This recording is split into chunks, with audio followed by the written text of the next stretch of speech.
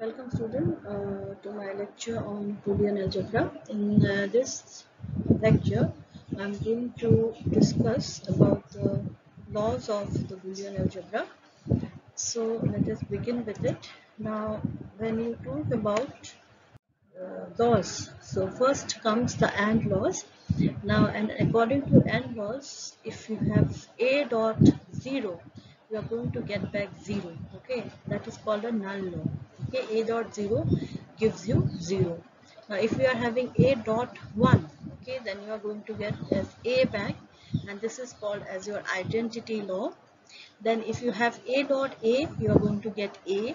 A dot a complement gives you 0 so this is what is your AND law. Now if you talk about the OR law OR law states that if you are summing up a plus 0 you are going to get a this law is specifically known as the null law. A plus 1 gives you 1. Okay. Now here there is a difference. Now the identity law in case of AND law is says that if you have making A dot 1 you are going to get back A. And identity law in OR laws states that if you are adding A plus 1 you are going to get 1 not A. So there lies the difference. Okay and same here for the null law. For the null law if we are using AND law null law in case of AND law is that a dot 0 gives you 0 but the null law in case of OR laws is a plus 0 you are going to get back a. So that is the basic difference okay? Now commutative law states that suppose you are having a plus b that is going to give give you same as b plus a. Whether you are taking a and operating on b or taking b first and then operating on a does not matter. The results are going to be the same. Okay? Same way may if you are taking a dot b this is same as b dot a. So either you operate a on b first or b on a first in both the cases the result will be the same. Something like can say that it is something like you know you are having uh, 1 plus 2 so 1 plus 2 it's 3 we are knowing that. So instead of 1 plus 2 1 plus 2 can also be written as 2 plus 1 you are going to get the same result right? Same way may 1 dot 2 or yeah 2 dot 3 okay it is going to give you same result as 3 dot 2 now comes your associative law. Now what is associative law? Associative law is this you are take whether you are taking a plus b first and then you are operating it on c or you take a alone and then operate it on together on b plus c the values in both the case will remain the same. It is something like say you are having 2 plus 1 okay 2 plus 1 you are taking first. And then you are adding with 3 so how much you are going to get here? It is 2 plus 1 is 3 3 plus 3 is 6 okay? Now what you do you take the other way. First you take a that means you take 2 and then you operate it on b plus c that is 1 plus 3. So what you are going to get 1 plus 3 is 4, 4 plus 2 is 6. So in both the cases the result is the same. Okay. Same way it is in the case of this A dot BC is equal to ABC. It is something like you are taking uh, 2 dot 1 okay and then you are taking say 3 so how much you are going to get? 2 plus 1 is 2, 2, 2 into 1 is 2, 2 into 3 is 6, right? Or you take the other ways, you take 2, 1 first and then take B dot C. Now here it will be different. Now here, uh, see what I am doing is A dot BC means 2 into 1 into 3. 2 ones are 2 into 3 is 6. Now you take A alone and compute it on uh, B and C. So it is like A alone, that is I am taking 2 alone and then you are computing you know 3 into 1. So what you are going to get? You are going to get back back 6. So in both the case it is the same. So this is called as associative law in case of product and in case of multiplication. Okay. So these are the certain laws that is that are associated with that are associated with uh, Boolean algebra. Okay. Now next is yours. Uh, the next one which we are going to talk about is the distributive law. Distributive law states that A into B plus C is equal to AB plus AC. Okay. And A plus BC can be taken as A plus B into A plus C. So instead of writing it as A, B plus C, this can be expanded as AB plus AC and A plus BC can be written as A plus B together multiplied by A plus C. This is called distributive law. Then you have redundant literal law, literal rule. Okay, there is a certain rule. This is called redundant literal rule. Now what is this redundant literal rule? It states that you are having A plus A bar B. You are going to get back A plus B. Same way you are having A, A bar plus B. You are going to get back AB. Okay. Idempotent law is A dot A gives you A and A plus A gives you A. Absorption law is A plus AB gives you A and A into A plus B gives you A. All these things you can verify. Okay, so say for example, suppose I want to verify this this rule. Okay, so suppose you say, here I'm just taking the example, you are having A. Okay, you are having B. Okay here you are having a bar and here you have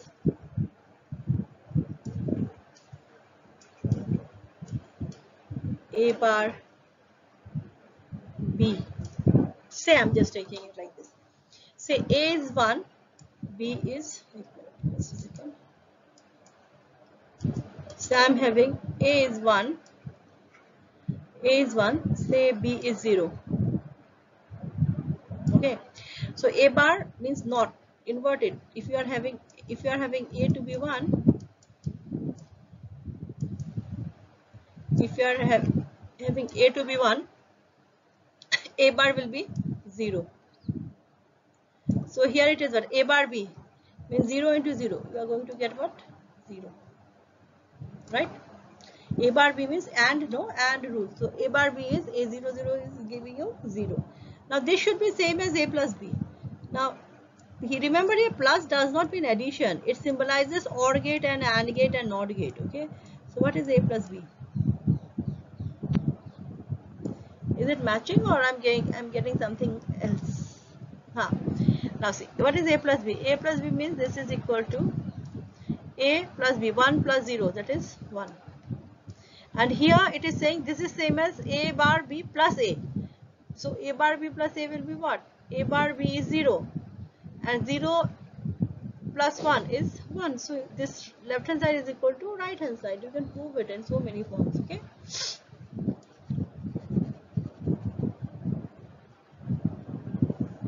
Okay so this is what is uh, the absorption. This is this one it is one which you are having it is very important and that is called as your De Morgan's theorem. Now De Morgan's theorem states that it may come in the examination also state De Morgan's law or what is De Morgan's law okay? So it may come come in the examination okay? Then what is what is De Morgan's law? So De Morgan's law states that it is something like that if you take the complement of sum of a and b if you take the complement of sum of a and b this is same as product of the complement of the two. Okay means if you are taking complement of the product of a and b uh, sorry complement of the sum of a and b this is same as the product of the complement of a and complement of b. Same way may second de morgan's theorem state that if you take the uh, product and they then take the complement. The, or or or in other words you can say that the complement of product of a and b is same as the sum of the complement of a and complement of b. Now this you can prove it. Okay? So if you want to prove it they may ask you in the examination we may ask you in the examination what is De Morgan's theorem so you'll have to say a plus b bar is same as a bar b bar and a b bar is same as a bar plus b bar. So here you just see it's the reverse. If you are taking here plus symbol here it's the product symbol. Here if it is the product one here here it is the plus symbol. So just the reverse of it okay? So this you will have to keep it in mind. Like here see here you have a bar b bar no? So instead of a bar b bar you are writing a bar plus b bar. And here you have a plus b bar. Instead of a plus b you are writing a b bar. Okay so de Morgan so you can prove it say i'm having a. I'm just take, taking one example and i can prove it. Say i'm having a. This is my b.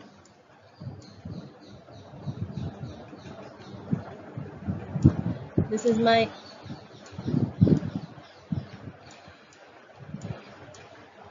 a bar.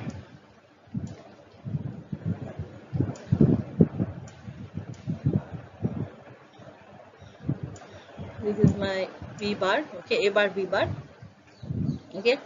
So we have a bar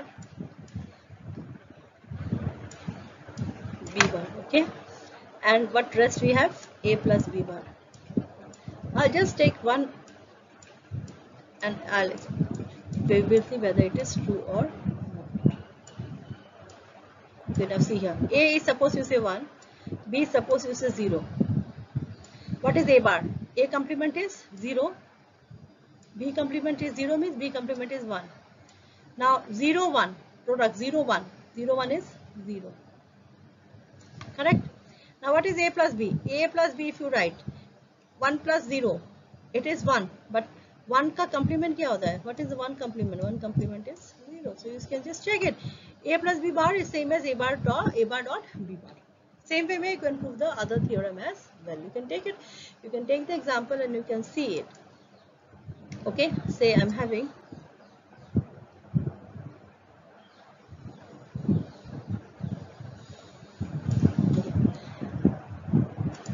say i have it as a is 1 B is 0. A bar, B bar. What is A bar, B bar? A bar is 0. B bar is 1, right?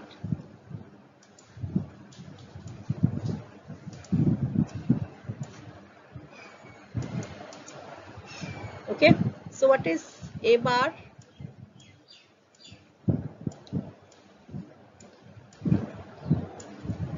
plus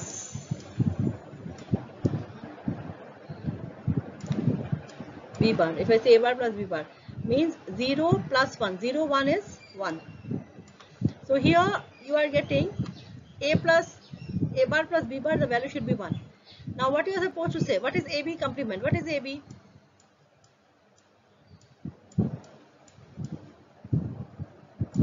one zero it is zero.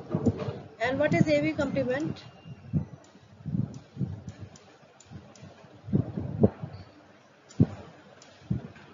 The complement AB complement is 1. So is not it matching? A bar plus B bar is same as AB bar. Okay. So this is what is your De Morgan's theorem. Okay. So you can prove it, you can verify it using different different combinations. Okay, A, B, you can take a different combination, you can, you can just prove it. Okay. So this is what is your uh, the De Morgan's theorem and De Morgan's theorem. I'm again repeating it is important from the exam point of view. We may ask you the question state De Morgan's theorem or prove or verify the De Morgan's theorem. So you can just write it like this. Okay. Now then comes your then comes I want to prove that A plus B plus C bar is same as A bar, B bar, C bar. I want to prove this one. Okay, this I have shown you with the help of an example. What, what is my target? My target is I'm A is given, B is given, C is given. I'm taking the sum and then after that taking their complement. So whatever value we are getting, is it same with A bar dot B bar dot C bar? Means I'm taking the complement of individual and then taking the product of it. So whatever value we are getting for the complement of the sum of ABC is same as the product of the complement of the individual. So this we want to prove. See ABC you are having. I'm taking the combination as 0, 0, 0. 0, 0, 0 is 0. 0, 0, 1 is 1. 0, 1, 0 is 1. 0, 1, 1 is 1. 1, 0, 0 is 1. 1, 0, 1 is 1. 1, 1, 0 is 1. And 1, 1, 1 is 1. Correct? This is A plus B. Now, what is complement of this? here here here actually what we are doing no i have not written it but this is what actually this is a plus b plus c complement of it okay so a plus b plus c complement 0 is 1 1 is 0 1 is 0 1 is 0 1 is 0 1 is 0 1 is 0 1 is 0 so this is the value for a plus b plus c whole thing complement now this gives you LHS. This is the left hand side of this proof, right? Whatever you want to prove, the left hand side is like this. Clear? What about A bar, B bar, C bar? Now check here. Okay. See here. A bar. This is actually A bar. This is B bar and this is C bar and this is what A bar B bar C bar this is A bar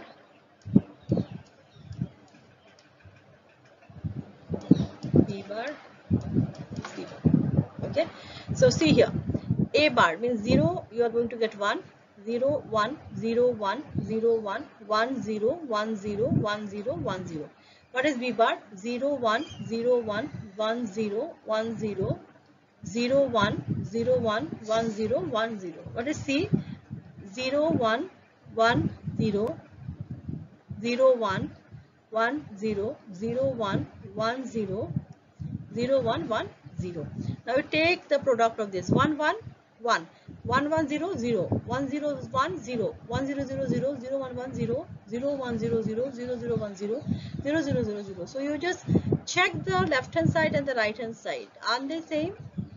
LHS and RHS both are same. So that means whatever value you are getting for A plus B plus C complement, the value will be same as the product of the complement of the individual okay? So how can we state this? We can say state that and, and and you know these type of table we call it as the truth table okay? These type of table where we are writing you know the value of a b c and all this is known as the truth table. So what do we find from the truth table? It is clearly visible that left hand side and right hand side are same. So how can i state this law now this is what? This is nothing a plus b plus c complement is same as a complement, b complement, c complement. This is the mathematical formulation. How I can state it? I want to I want to change it into statement. So how can we change it? I will say, as I already mentioned, the complement of the sum of variables, a, b, c are the variables. So the complement of the sum of the variable is equal to the product of their individual complement, right? This is the product, product of the individual complement. I'm again repeating here a plus b plus c that is not ordinary algebra. We, we, it's not like this 1 plus 1 plus 1 gives you 3 that is ordinary algebra. Here which algebra we are using? We are using the boolean algebra where a plus b plus c has a different meaning. Okay it is not just simple addition. It is something like or. Or means this or this. I have explained this to you in in in uh, in my previous lectures and all that when i say or gate okay we we had a talk about or gate. Or means what this or this means either of them must be on then i'm going to get on. If both are on so we are going to get on only but if either of them are on we are going to get on. That is the meaning of saying or. And that is represented by the plus symbol. Whereas when i when i talk about the and and means what? This and this both must be there okay so if if both must be there. So if one is high one is low i'm going to get low only. But if both are high then we are going to get high. So both of them. And or means either of them.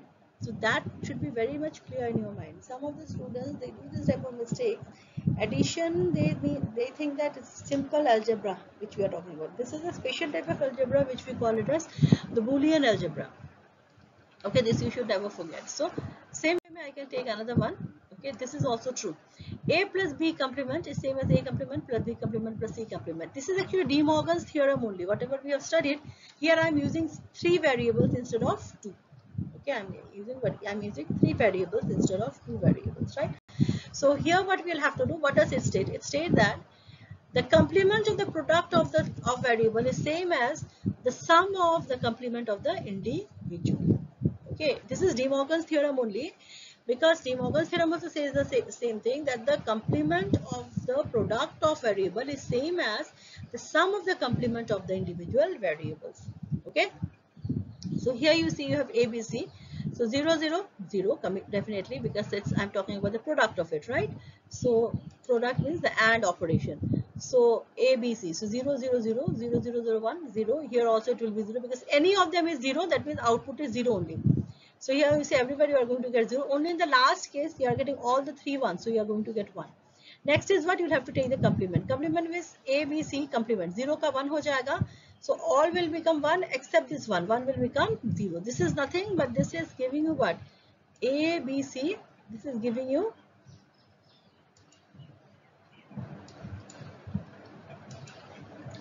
this is what? This is actually this is your a b c this is the abc complement. Okay? So you are finding this right?